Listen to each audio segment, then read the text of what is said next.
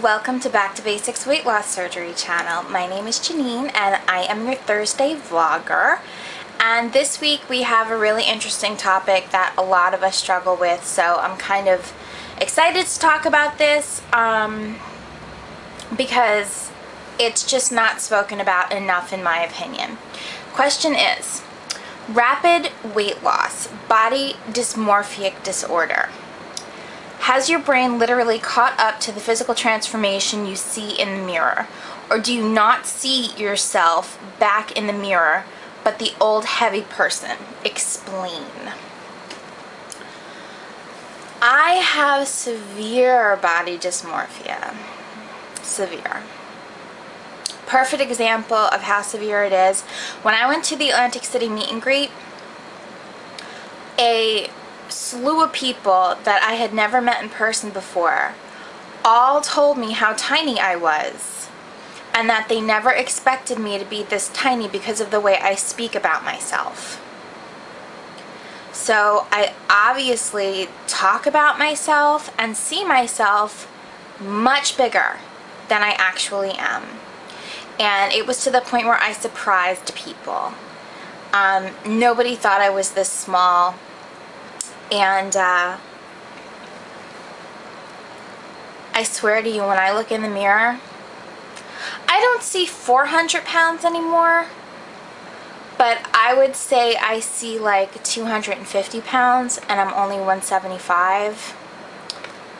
So, yeah.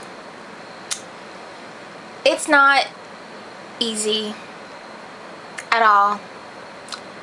Shopping for clothes is hard because I literally get anxiety when I pull a medium shirt off the rack. I, I feel anxiety in my belly because I, of course, want to avoid bringing clothes into a dressing room, trying them on, and having them not fit, and feeling disappointed and fat in the dressing room. So when I pull a medium off the rack, I get anxiety immediately and I try on everything now because I am so scared and so convinced that a medium won't fit me. My pants are a size 12. Same anxiety. I pull a 12 off the rack. I gotta try on every single thing that's a size 12 even though logically I know it's going to fit me, but I am so anxious and scared that I'm going to try to get my butt into those size 12 pants or skirt or dress or whatever it is. And it is not going to fit. I'm going to feel disappointment and I'm going to feel fat. Really freaking fat. Does it happen? Hasn't happened yet.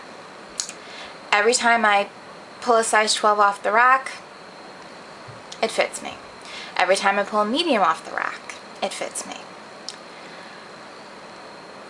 I don't know how to handle this.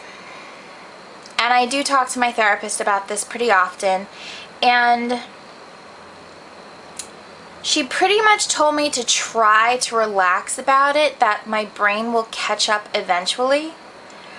But it's been a long time now and my brain still hasn't caught up.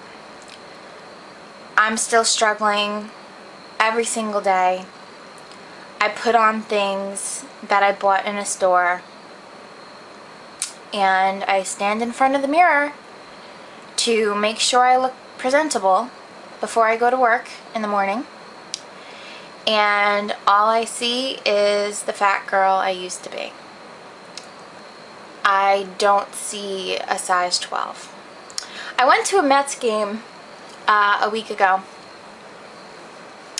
and I met up with a vendor rep. Uh, her name is Hope.